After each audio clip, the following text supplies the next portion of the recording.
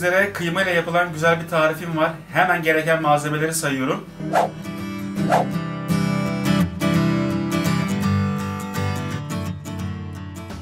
400 gram dana kıyma, 1 çay kaşığı kırmızı pul biber, 1 çay kaşığı karabiber, 1,5 çay kaşığı tuz, 1,5 su bardağı suyun içerisinde ben salçamızı erittim. Yani sulu salça yaptım. 1 baş soğan, yarım demet maydanoz, onları doğradım. Soğanlarımızı da küp küp kestim. 15-20 adet kadar arpacık soğan, 3-4 adet kadar domates ihtiyacımız olacak. Yeteri kadar biber kullanacağız.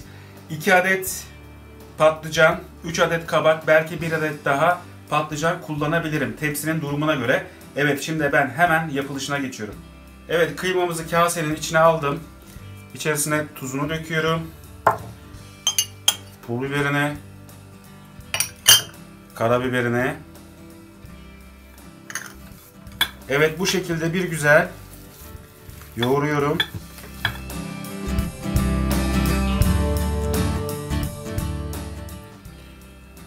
Soğanını döküyorum.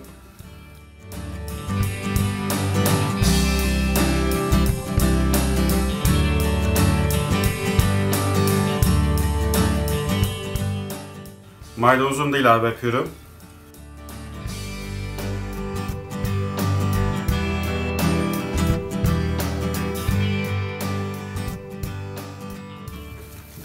Maydanozlarımız da kıymanın içerisine işledi.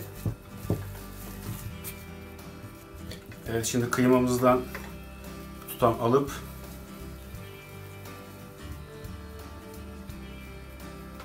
hafif şöyle yuvarlak yaptıktan sonra hafif şöyle bastırın biraz düzleşsin. O şekilde yapacağız.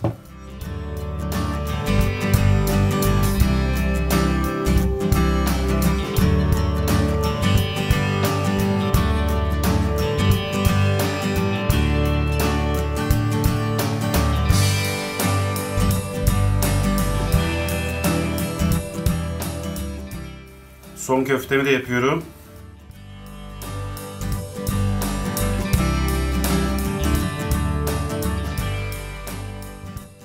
Evet, şimdi diğer işleme geçiyorum.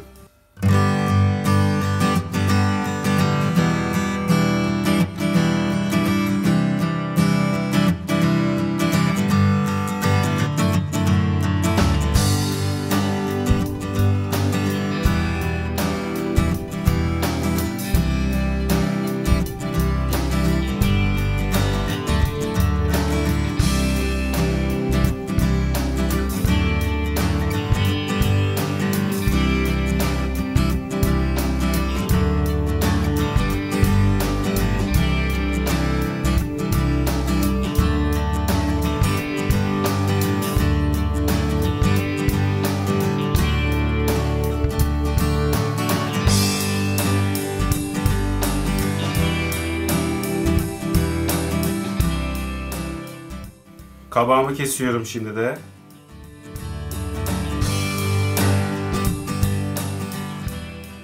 Patlıcan ve kabaklarımızı gösterdiğim şekilde kestim hepsini.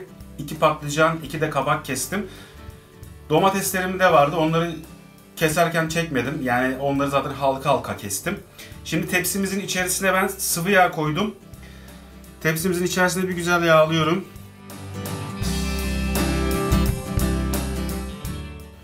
Şimdi içerisine patlıcanımı yerleştiriyorum.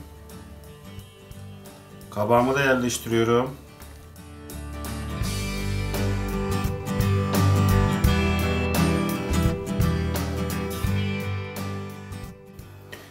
Kabaklarım biraz küçük. Evet kabaklarımı da yerleştirdim. Evet bu şekilde hazırladım. Şimdi içerisine malzemesini yerleştiriyorum.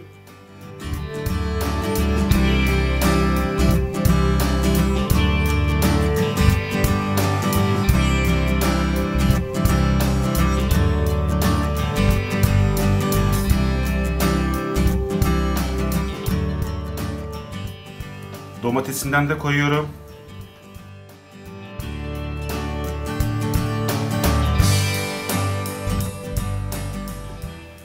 Arpacık soğanlarımdan koyuyorum.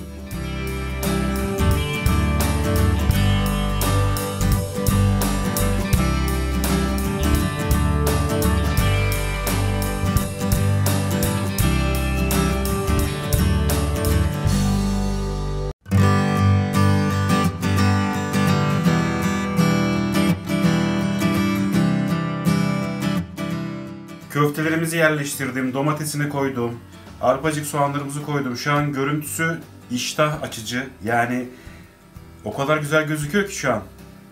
Bir an önce pişirip tadına bakmak istiyorum.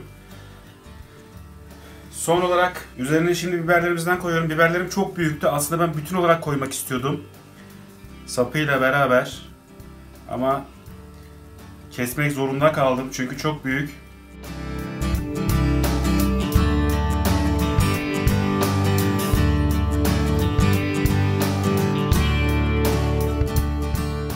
Ama bir tanesini ayırdım. Onu bütün şekilde koyuyorum.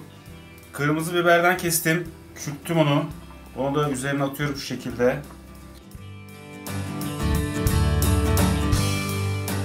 Salçamızı sulandırmıştık. Şimdi ondan döküyorum üzerine.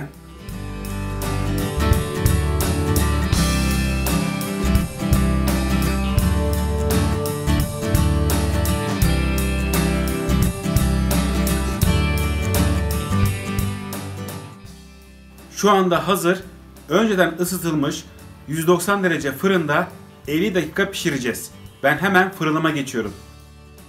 Şimdi fırından çıkarttım. Gördüğünüz gibi buharı daha halen üzerinde çok sıcak. Biraz soğumasını bekleyeceğim. Tadına öyle bakacağım. Fırına göre pişirme derecesi ve zamanı değişebilir.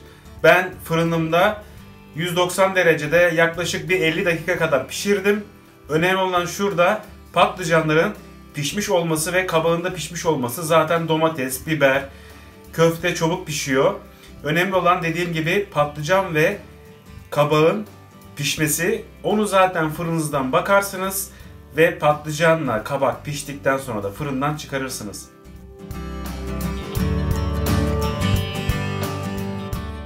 Bir 10 dakika bekledim soğuması için. Şimdi hemen tadına bakıyorum. Gördüğünüz gibi patlıcanımız gayet güzel pişmiş. Hemen ayrıldı. Köftemden alıyorum. Köfte çok güzel pişmiş. Şimdi hangi birinden yiyeceğimi de şaşırdım. O kadar güzel gözüküyor ki biberinden alayım. Kabaktan da alalım. Gördüğünüz gibi lokum gibi olmuş. Soğanından da alıyorum. Almadığım bir şey var mı onu düşünüyorum ama domatesinden alayım. Domates de gayet güzel. Yalnız ben köftenin şu kalan kısmını da yiyeceğim. Salçalı su hazırlamıştık. Salçalı suyun içerisine ben bir buçuk çay kaşığı tuz ekledim ve tuzu içerisinde erittim. Çünkü patlıcan ve kabağımızı biz tuzlamadık. Onlar tuzsuzdu.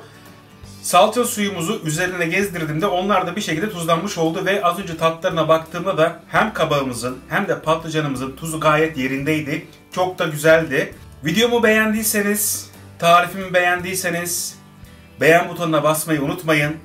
Kanalıma abone olmayı unutmayın. Bir sonraki videoda görüşmek üzere. Şimdilik hoşçakalın.